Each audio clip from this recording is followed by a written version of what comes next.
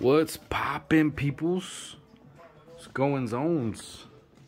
Your boy's back. Your boy's been going hard, going ham sandwich on this shit. And um, I know last month, well, it's now May. I didn't do any videos for April, so this is gonna be for my May video. Um, I went a little hard, and you know, I have my got my crate down here, and I had it almost full. I'd say about two thirds of the way this time it's it's all the way to the T, like almost. Look at that. So gotta gotta show these off a little bit, do a little bit of a you know the same thing that I always do. So um I don't know if you guys have ever heard of Prodigy. It's like a late '90s electronic music group. Uh, not too shabby. They they had some um, some hits. I mean, just from this, the first two tracks right there, Smack My Bitch Up and Breathe, were huge back in the days. And then Firestarter was like their other big hit, big hit. So, you know, this one right here is just more nostalgia. It's not really hip hop. It's just something that I wanted to buy. And, you know, I found it. So, it's mine now. And disregard what's back here. That's all from previous videos. So, let's see. Got a couple of singles here fucking Obi Trice, real name, no gimmicks. This track right here, like, I swear to God, I must have played it like 10 times a day that uh, I came in with this one. It's because it's such a hard beat, such a hard rapper. Obi Trice is uh, severely underrated. So, go peep this one out if you haven't heard it. It's on the, it's from 8 Mile on the bonus CD that came with it. And I finally got my hands on the vinyl copy of it. So, yeah, 12 inch single, dope shit. Obi Trice rap name. Uh, some Black Moon. You know, one, two, one, two, one, two, one, two, two turntables and a mic. That's from their, uh, I think their second album. Dope shit right there. Two turntables and a mic. One bad MC on the set. Fucking DOC. This single, I already had this single, but I didn't have the sleeve. And I wanted the sleeve just because, you know, it was dope. Plus, this is only like a couple of bucks, so I said, why not? Why the fuck not? Chubb Rock. Seems like I'm collecting Chubb Rock singles up the ass without ever finding any of his fucking albums. And I mean, eventually, I you know I want to have a couple of his albums, but you know, I can only get what I find, right? So, yep, Lost in the Storm. I was happy with this one. This was great. Let's see. Parents just don't understand from the Fresh Prince and Jazzy Jeff. I actually got this one in Mexico for a hundred pesos. Yep. So, yeah, this one's dope. I mean, it's before Will Smith, the actor, came out, and it was really just a Fresh Prince, so dope shit. It's probably one of his early hits. I mean, he might have won a Grammy for this one. I'm not sure, but I think he did. Let's see. Techno, what is it? Technotronic. So, I don't know if you remember that. Pump up the jam, pump it up. This one I got in Mexico too for 150 pesos. So the the the conversion to dollars, it's like I think when I went it was about 18 or 19 pesos to the dollar. So I don't know, do the math. I left the prices on there just because they're like people look at them like, damn, 100 for this? Yeah, 100 pesos. There's another one I got in Mexico, fucking Sir Mix-a-Lot, some 80s shit. I never actually heard it, but um, when I was at the store, uh, the guy was real like catering to me because I told him I'm into hip hop and like he never gets anybody that likes hip hop, so he just started pulling out all the rap shit he had, and this is one of them. So I was pretty cool with it. I, th- I thought this was pretty cool, you know. I was cool with it, so I grabbed it and I was like, yeah, yeah I'll take this mix a lot, sir, mix a lot shit. Damn, stuttering, st- st- st- st- stuttering. Let me take a hit off my vape here because I need to relax a little bit, you know. So I'm going to try to zoom through these because I got this plus that. I'll get to that when I get to it, but I'll explain what's going on with that bag over there. So anyways, continuing with the Mexico trip that I did a couple of weeks ago.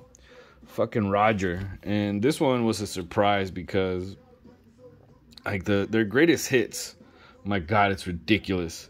So I figured if I can't have the greatest hits, I'll try to find all the 12 inches and probably have all the songs, you know, and get it for, I don't know, a fraction. And this one was, look at that, 20 pesos, which is about a dollar. So this one was a major, major come up. for me at least, because I really like Zapp and Roger. They're old classic, fucking heavily sampled by hip hop, you know. So another one. Let's see, Bad Meets Evil. So this is Eminem and Royce the Five Nine, as you can see right there on the cover. And these two tracks are from um, the game, Game Tight, the their little compilation. And I just wanted a single for it. I found it in um, down in San Diego, place called Soul Shack, which I'm pretty sure I've mentioned before. Big shout out to those guys. So, yeah, keep it moving. And this one, this one's a little beat up. The the sleeves kind of kind of meshed fucking got shredded up a little bit there. But uh, yeah, Westside Slaughterhouse is from Mack 10's first album. There's a track where they shit on Common. And uh, more on that in a bit. So yeah, this was a good one. Uh, this is probably the best song on the album. And I got it for for a good cause because I like it. That's right. Big L Deadly Combination. This is special right here. This, this is not something I ever thought I would ever get my hands on. So if you go and listen to Big L's second album called The Big Picture, this song is actually on there, but it doesn't have Biggie on it. So on the album, it's just Tupac and then Big L. And it's an old freestyle from Tupac from uh, the Ron G days in like the like 94, 95 and uh, Ron G actually produced this shit, so he brought the the freestyle that Tupac did, and put it along with a Big L freestyle, I guess a tribute. But then Big L wound up dying, so it's kind of crazy how it worked out. But this this one right here has Biggie on it too. It's got both clean and dirty version. I remember I was at the store and uh, one of the guys that worked there just started playing random records, and I heard the beat, and I'm like, yo, I recognize that shit. I'm like, is that is that is that the the Big L? Then I heard Biggie, and I'm like, what? This one has the the Biggie verse on it. So I told him if he was gonna buy it, and he's like, no, man, I work here. If you want it, it's you know, it's yours. And it's a couple of bucks too. So that's a big come up. That's something I never thought I would have. have big big surprise to me. So uh, nonfiction. I shot Reagan. I actually have the seven inch for this. It's exactly the same as this, but this one I just I don't even know why I grabbed it. I'll be honest with you, but you know I have it, so it's cool. But it's a dope track. I shot Reagan this from uh, from their first album. King T, Freestyle Ghetto, let's get it on. 12 inch. So it's cool shit. There's some shit with uh this I think is Xzibit's first appearance on on uh on a major track. And uh yeah, happy to have this. Love Xzibit. So Xzibit's one of my you know heroes from the late 90s, early 2000s. Cronkite, uh this is uh Field of Agony from the Liquid Crew and uh, it's dope. Highly recommend you peep this track. I remember hearing that on, uh, I think it was um, one of those old old school fucking mixtapes. I have it on CD somewhere, like that Marc Ecko mixtape that they used to do. I don't know. I don't know. I don't know what I remember. I think it was Underground Airplay, Volume One or Two, one of those. So yeah, another one, Cocoa Brovaz, aka Smif-N-Wessun. This Black Trump, which is a sick fucking track featuring Raekwon. Got to hear that one if you haven't heard it. You know, if you're if you're listening out there, take a name and write these down so you go and check these fucking tracks out because they're fucking dope. Common, remember that Westside Slaughterhouse? How it was going into them dissing Common on Westside Slaughterhouse? Well, this is Common's reply to that track, and it's called "The Bitch in You," which is really mostly dissing Ice Cube, but he takes shots at everybody. Mack 10 gets some. And uh, yeah, it's a dope track. This one, I'd say, I mean, it tastes just as good as Westside Slaughterhouse. It really is. And apparently that's an expensive fucking single, but they let it go for like $10. So I was like, oh, fuck it. It's a good shape too, so yeah. Big L, MVP. Oh no, put it on. MVP is another one. Yeah. So this one I actually got in the mail uh, like a month ago. And this is one that I've been, one of the reasons why I've been trying to make this video to show this one off because it's kind of a, one of those, uh, not exactly easy to find type of singles. So happy to have it. You know, I love Big L, second Big L.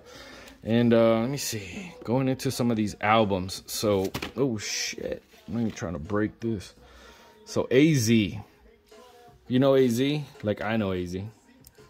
He's a rapper that came up with Nas. And he had an album called um, or Die, which was dope as fuck. And then Uh, I, I don't know if these ever got pressed on vinyl, but I think Fat Beats, either Fat Beats or Get On Down, did a release of all of them like at the same time. I got it in an email and it was like an impulse buy.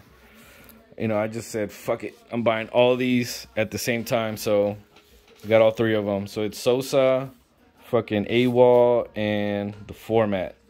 And all three of them are sick. I mean, AZ has always been a top notch MC. Like I said, if you know AZ, like I know AZ, you probably heard of those. Ed OG, this is the second release I got from Ed OG. Truth Hurts. And I thought this one was dope. I, I didn't realize where he was from. I thought he was from Florida for some fucking reason, but turns out he's actually from Boston. So uh, I don't know if I said that on the last video that I made that he I had one of his records on, but this one actually was pretty pretty good. Um, I'm gonna get get more into Ed OG, so that's a good buy for me. Freddie, Mr. Freddie Gibbs. He has a bunch of nicknames. This from uh, Vinyl Me Please. And I wasn't super impressed with it, but it did have a couple of dope tracks. That first one specifically I thought was really good. Straight killer, no filler. I really felt that one. But yeah, this one's this one uh, is a uh, one of those kind of rarities. But hey, Vinyl Me Please put it out, right?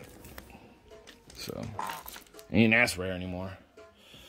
Yeah. So let me get. It's only the first beer of the day, and I'm not really planning on drinking too much today. It's Sunday. I don't really drink on work nights. Ah, but today I'm feeling good, so I'm gonna have one beer, or two, or three. You see, Planet Asia EP. This I think is his first ever release, and and it's actually dope. This one, um, I didn't even know existed, and I've I've been in the Planet Asia for a minute. I you know, but I've never like really got into collecting his music because it's kind of rare. So when I found this, I just grabbed it. I didn't even I, I didn't know if it was a one track like a single or if it was an album, but it's an EP, so it's in between. Chill. Yep. Happy to have that one. That one actually really dug.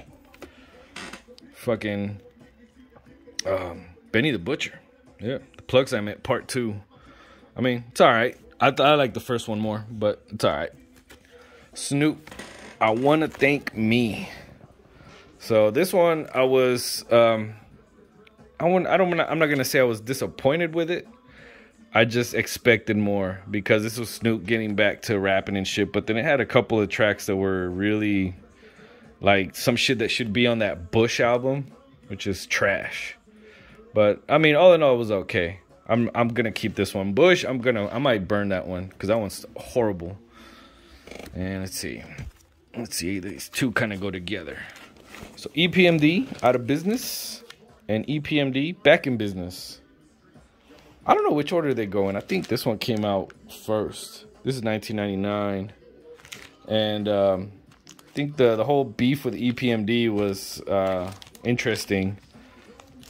Um, I don't know the exact story, but it involved the robbery and Erick Sermon setting up Parrish to get robbed, and uh, it was a big fucking mess. But anywho, uh, these two records are fucking dope. Um, I need some more EPMD in my life, so whenever I find some more, I'm gonna grab it. And these two right here came from uh, the same place, Soul Shack. So happy to have those. Oh, my main, main, main man, Dr. Dre, House Calls. So it's really just a world class wrecking crew, to be honest. But um, it's only three tracks. Uh, you know, tracks you've heard before, actually, like Cabbage Patch and House Call. I've actually heard those songs a lot. Uh, must be the music, not as much, but I do remember it. Um, so this is going into the uh, Dr. Dre collection, way up there, way up there. So happy to have this one. This is I don't know how rare it is, but uh, I don't know. They were trying to slang it to me for for some crazy ass price, and I was like, nah, man. Like that shit says nine ninety nine. They're like, yeah, that's not our price. I'm like, I don't give a fuck. I'm not paying more than that. And they actually let it go for that price. I think they wanted twenty five for it. I was like, nah, fam. MC Eiht, Last Man Standing. This might be MC Eiht's best album. No shit. I like, in my opinion. Um, yeah, I really like this one. Uh, it came out in the like '96 95, 96. and I was really impressed. Oh, 97. Yeah. I was really impressed with it. I thought the production was better than his previous albums. And it's, I'd say it's uh, maybe even a little bit better than the CMW, the music to drive by, you know. But, you know, that's mainly because of the production. It's a little bit more polished. But yeah.